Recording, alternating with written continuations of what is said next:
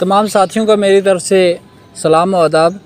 आज का हमारा मौजू है बहस जिस पे हमने गुफ्तु करनी है, वो है नावल एक चादर मैली सी। ये नावल राजेंद्र सिंह बेदी का नावल है। बेदी की अदबी ज़िंदगी का आगाज़ 1932 ईस्वी में हुआ। शुरू में उन्होंने मोहसन लाहौरी के नाम से अंग्रेज़ी और उर्दू में नज़में और अफसाने लिखे, जो कॉलेज मैगज़ीन और मकामी अखबार में शाया हुए। राजेंद्र सिंह बेदी के नाम से पहला अफसाना दुख सुख फ़ारसी रस्मलहत में पंजाबी ज़बान के रिसाले सारंग में शाया हुआ है। राजेंद्र सिंह बेदी अपने अहद के बड़े और साहब तर्ज अदीब तस्लीम किए गए। बाज़ लोगों के ख्याल में वह तरक्की पसंद नस्ल के सबसे बड़े अफसाना निगार हैं। उनके फ़नपारों में मतवस्त तबके के मतनों किरदारों, उनके रंगारंग माहौल, उनके माबेन इंसानी रिश्तों के उतार चढ़ाव से एक जहाँ पैदा हुआ है।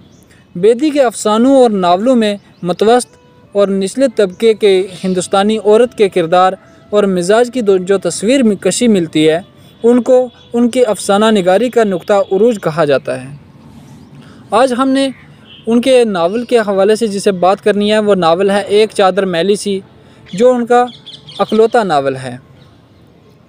चादर मैली सी राजेंद्र सिंह बेदी का अकलौता नावल है, जो पंजाब की देहाती ज़िंदगी के पस मंज़र में लिखा गया है।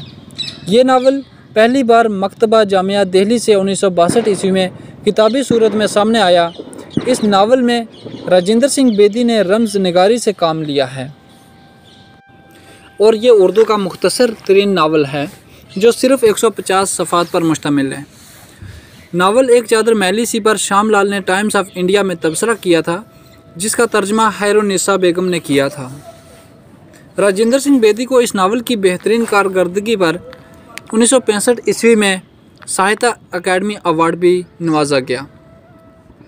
बेदी ने अपने नावल एक चादर मैली सी में हकीकत नगारी से काम लिया है, जिसकी वजह से पंजाब के देहात की तहजीबी और सकाफ़ती सूरत हाल उभर कर सामने आती है, जिससे कारी का जहन भी मुतासर हो जाता है।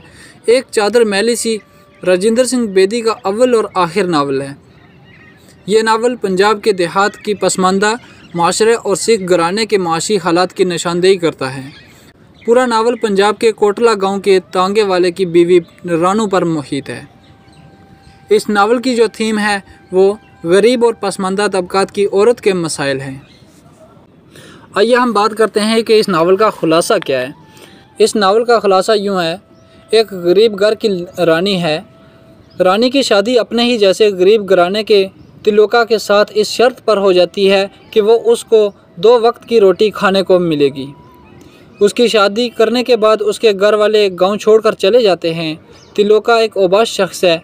वो वो ना सिर्फ़ शराब नोशी करता है, जिससे रानी को सख्त चिड़ है, बल्कि छुप छुप कर घर का रास्ता बोली लड़कियों को अपने तांगे पर जानसात देकर बिठा आता है।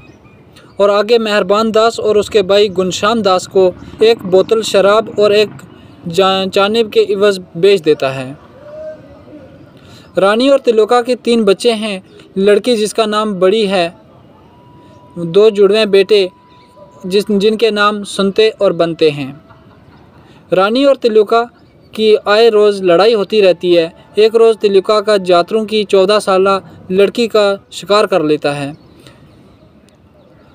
और शराब की बोतल और चाँप के लिए घर लौटता है। उस दिन भी गुमसान कारण पड़ा और मंगल रानी का देवर ने बीज पाव करा दिया। शराब की बोतल टूट फूट गई, लेकिन अगली ही सुबह नई बोतल तिलोका के हाथ में थी। वह दमकी देकर घर से तांगा लिए चला गया कि वो ज़रूर आज रात शराब नोशी करेगा। वो रात ही ना आई, तिलुका की ज़िंदगी में जातरों के लड़के ने अपनी बहन का बदला लेने के लिए तिलुका की गर्दन में दांत गाड़ कर सारा खून चूस लिया। और चौधरी मेहरबान दास और गुनशाम दास को पुलिस पकड़ कर ले गई। उन्हें सात साल की कैद बामशक्क़त सुनाई गई। तिलुका की मौत के बाद रानी का वहाँ जीना मुश्किल हो गया। उसका मैका न था वहाँ के वहाँ जाती। उसकी बेटी जवान थी, जिसकी बोली गाँव के सरपंच लगा गए थे। लेकिन रानी अड़ गई। तिलोका के बाद घर में फाके पड़ने लगे। लेकिन रानी अपनी बेटी ना बेचना चाहती थी। चुन्नू रानी का बेहतरीन दोस्त है। उसने पंचायत के ज़रिए यह फैसला कराया कि मंगल और रानू की शादी हो जाए। मंगल रानी से दस वर्ष छोटा है और बड़ी का हम उम्र है। वो बाबी से शादी ना करना चाहता था, लेकिन खूब मारपीट के बाद सरपंचों ने उसकी शादी रानी से करा दी। शादी भी क्या, बस सर पर एक मैली सी चादर डाल दी गई। शादी हो गई, मगर मंगल सिंह रानी को बीवी ही नहीं मानता। दूसरी जानब मुस्लिमों की लड़की सलामती मंगल पर डोरे डाल रही थी। मंगल कभी मुँह मारता, कभी ना। एक रात मिलने का इरादा था, लेकिन उसी रात उसको तिलोका की छप, छुपाई हुई शराब की बोतल मिल गई और रानी ने शातराना चाल चलते हुए उसको शराब पिलाकर अपनी तरफ़ माइल कर लिया। एक दो दिन के बाद ही जातरों के इसी लड़के का बड़ी के लिए रिश्ता आता है, जिसने तिलोका का कत्ल किया होता है।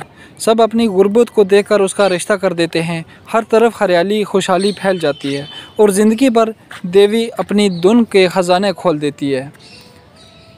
नावल में वक्त को हर दुख, दर्द का मदावा दिखाया गया है। अब हम इस नावल में देखते हैं कि क्या चीज़ बताई गई है। इस नावल में वक्त के हर तरह के दुख, दर्द का मदावा दिखाया गया है। वक्त और लम्हे कैसे इंसानी ज़िंदगी और रवैयों पर असर अंदाज होते हैं, ये सब इस नावल में अछूते अंदाज में पेश किया गया है। इस नावल के जो अहम किरदार हैं, वो रानू चुन्नू रानी की एक सहेली, तिलोका मेहरबान दास गुनशाम दास बड़ी बेटी, बनते संते खजूर सिंह, चंदा हरी दास बाबा पूरनदाई ज्ञान सिंह, पूरू, यात्रियों की लड़की यात्रों का लड़का, आयशा, जहलम, सलामती, जमील, इस्माइल, ज्ञानचंद, ये तमाम जो हैं इस नावल के किरदार हैं।